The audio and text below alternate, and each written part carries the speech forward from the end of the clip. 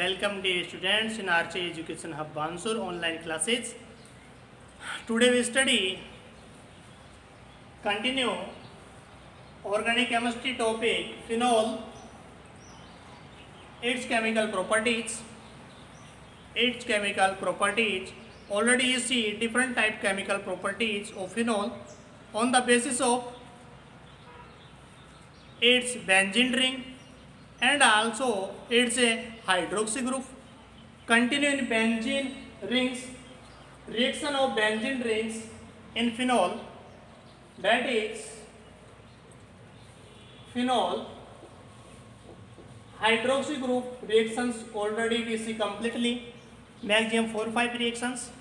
now we see the benzene ring of phenol which type reactions gives already you see in this three type reactions that will be bromination reactions there will be bromination alkylation friedel-crafts reaction very important friedel-crafts reaction already you see that is very important reaction of benzene ring and now we study next day in this class that is very very important very very important reaction that is Fischer rearrangement कौन सी reaction है students इस तरह rearrangement जो है वो किस type से take place होता है कैसे केमिकल प्रोडक्ट बनते हैं क्या प्रोडक्ट बनेगा you can see first of all see what will be the reaction reaction क्या होगी देखिए फिनोल जो है that is phenol it's form two type products दो टाइप के प्रोडक्ट का फॉर्मेशन कर रहा है फिर रीअरेंजमेंट के अंदर रीअरेंजमेंट का मीन क्या है वो मैं अभी आपको टेल्स से you what will be the mean of a rearrangement okay COCH3 group addition that is OH also on para position that will be formation of COCH3 okay दो टाइप के यहाँ प्रोडक्ट्स बनते हैं फर्स्ट प्रोडक्ट आप देख रहे हैं second product आप देख रहे हैं एक कहलाते वाले प्रोडक्ट में क्या कहलाएगा वो बेंजीन टाइप की रिएक्शन से मोस्टली अगर यहाँ पर देखें तो ये बन रहा है और तो हाइड्रोक्सी क्या बन रहा है एसिटोफिनॉल ओके स्टूडेंट्स ये आपके पास में है फिनॉल और फिनॉल से किसका फॉर्मेशन करना है ये कहलाएगा ऑर्थो क्वेश्चन पे C O C S three है टो ग्रुप जुड़ा हुआ है तो ये कहलाएगा ऑर्थो हाइड्रोक्सी एसिटोफिनॉल स्टूडेंट इसका नाम क्या होगा और तो क्वेश्चन है इसके रेस्पेक्ट में लेकर देखिए तो कौन सी क्वेश्चन और तो ये मेटा ये कौन सी है पैरा ये वाली कौन सी क्वेश्चन पे जुड़ा हुआ स्टूडेंट्स ये पैरा पे जुड़ा हुआ है इसलिए इसका नाम क्या हो जाएगा पैरा क्या कहलाएगा पैरा हाइड्रोक्सी फिनॉल क्या कहलाएगा ये पैरा हाइड्रोक्सी एसिटोफिनॉल ये वाला कौन सा है ये है ऑर्थो और ये वाला कौन सी क्वेश्चन में जुड़ा हुआ है हाइड्रोक्सी दो टाइप के प्रोडक्ट यहाँ पर बनते हैं कौन कौन से केमिकल रेजेंट यहाँ पर यूज किए जाते हैं इसमें जो मीडियम होता है स्टूडेंट वो होता है नाइट्रोवेंजिन नाइट्रोवेंजिन मीडियम को इसमें यूज किया जाता है तो ये तो होता है इसमें क्या मीडियम क्या होता है ये मीडियम किसको यूज करते हैं nitrobenzene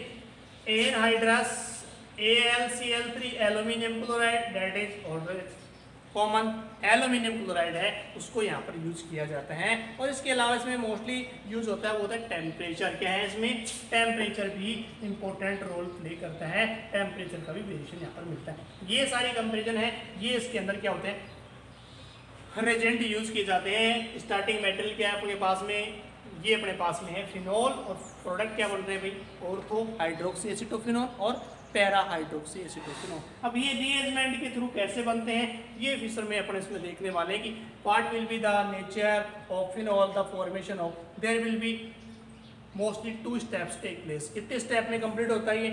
टू स्टेप में कंप्लीट होता है देखिए इसका प्रोसेस क्या रहेगा इस वाले की मैकेनिज्म क्या रहेगी वो आप यहाँ पर देख सकते हैं what will be the process okay देखिए first of all process first में अगर बात करें तो इस वाले के अंदर है ये आपके पास में क्या है स्टूडेंट्स फिनॉल क्या है फिनॉल फिनॉल की रिएक्शन कराते हैं एसिटिल क्लोराइड से किससे रिएक्शन कराएंगे एसिटिल जैसे क्लोराइड है ये आपके पास में क्या है एसाइल क्लोराइड क्या कहलाएगा एसिटिल क्लोराइड कहलाएगा तो ये अपने पास में एसिटिल क्लोराइड एसिटिल क्लोराइड से रिएक्शन कराते हैं तो आपके पास में प्रोडक्ट जो बनता है देखिए फर्स्ट ऑफ ऑल किसका फॉर्मेशन होता है एसिटिल क्लोराइड की रिएक्शन कराएंगे तो आप यहाँ पर देखेंगे ये वाला यहाँ से एच है ये यहाँ से रिमूव हो जाता है और ये वाला जो सी एल है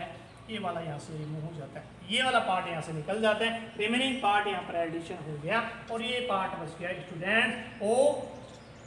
C double one O C H three okay ये वाला पार्ट यहाँ से आपको मिल चुका है रिमूव क्या कर दिया मैंने यहाँ से H C L part okay देखिए that is first step product है और that product is called phenyl acetate क्या कहेंगे इसको फिनाइल एसिटेट क्या कहेंगे इसको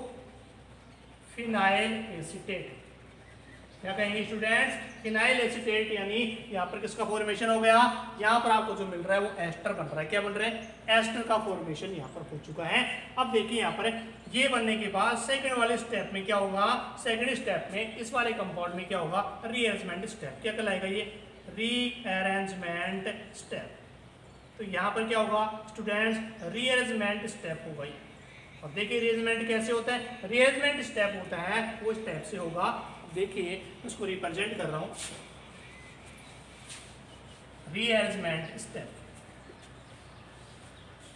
रीअरेंजमेंट स्टेप देखिए रीअरेंजमेंट स्टेप ओके कि फिनाइल एसिटेट का जो फॉर्मेशन हुआ है ये नेक्स्ट स्टेप में क्या होगा कन्वर्ट स्टेप से होगा फिनाइल एसिटेट का फॉर्मेशन जो था उसमें चेंजेस देखिए आप C O C H three rearrangement show करेगा और रिएजमेंट में first of all there will be break of this bond this bond will be break and there will be formation of O C O C H three positive that will be addition on this ring that is on benzene ring. there will be two type attack may be according to it. If temperature is low and temperature is high. दो type से product का formation होगा अगर temperature आपने क्या ले रखा है लो टेम्परेचर ले रखा है मोस्टली अगर बात करें तो तीन सौ तैतीस three three three kelvin temperature और ये अगर आपने यूज़ कर रहा है और three three kelvin temperature use कर रहा है तो प्रोडक्ट भी क्या होंगे डिफरेंट डिफरेंट प्रोडक्ट आपको मिलेंगे अगर लो टेम्परेचर है तो आपको जो प्रोडक्ट का फॉर्मेशन होगा स्टूडेंट्स वो देखिए कौन से वाला बनता है तो बनता है या पैरा बनता है ये कौन से मीडियम में होती है रिएक्शन एसिडिक मीडियम में यानी एक्स मीडियम नहीं एसिडिक मीडियम में अगर रिएक्शन हो रही है तो उस रिएक्शन के दौरान अगर देखें तो यहाँ पर दो प्रोडक्ट और और पैरा वाले जो बने थे वो किस टाइप से इसमें रिप्रेजेंट होंगे फर्स्ट ऑफ ऑल देखिए तो लो टेम्परेचर है तो लो टेम्परेचर पे स्टूडेंट जो प्रोडक्ट बनता है वो वाला प्रोडक्ट है O C O C S three group है वो अटैच होगा पैरा पोजिशन पे कौन सी पोजिशन पे होगा पैरा पोजिशन पे अटैच होगा तो कौन सा प्रोडक्ट बनेगा ये अपने पास में बनने वाला है कौन सा para hydroxy para hydroxy acetophenone बन जाएगा अगर टेम्परेचर आप क्या यूज़ कर रहे हैं टेम्परेचर अगर आप यूज़ कर रहे हैं fourth three kelvin high temperature है इसकी तुलना में तो कौन सा प्रोडक्ट बनेगा स्टूडेंट्स यहाँ पर जो तो प्रोडक्ट बनेगा वो वाला होगा ओ एच और C O C S three कहाँ अटैच हो जाएगा ओर्थो वाली कंडीशन पे अटैच हो जाएगा that is O C O C S three ये कौन सा कहलाएगा ये तो कहलाएगा आपका ओर्थो वाला प्रोडक्ट बन जाएगा तो आपने देखा यहाँ पर you can see already in step first we for में phenyl acetate and second step depend on temperature effect according to temperature low temperature अगर आप यूज़ कर रहे हैं ये बनेगा आपके पास में कौन सा पैरा वाला बनेगा और ओके और अगर आप इसमें टेम्परेचर यूज़ कौन सा कर रहे हैं हाई टेम्परेचर यूज़ कर रहे हैं ये टेम्परेचर क्या है हाई है कंपेयर टू इट कौन से वाला बनेगा इस वाले में आपको मिलेगा ऑर्थो हाइड्रोक्सी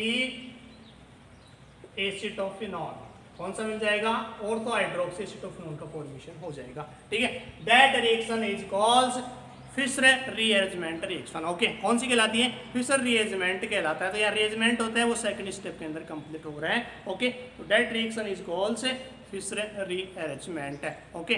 तो in this we see already two steps one by one chemical reaction complete in in the presence of anhydrous A L C L three Acetyl chloride take place during the reaction and there will be formation of two product that will be ortho and para hydroxyphenol via rearrangement of phenyl acetate that is called fissure rearrangement okay thank you and next video we see next reaction of benzene thank you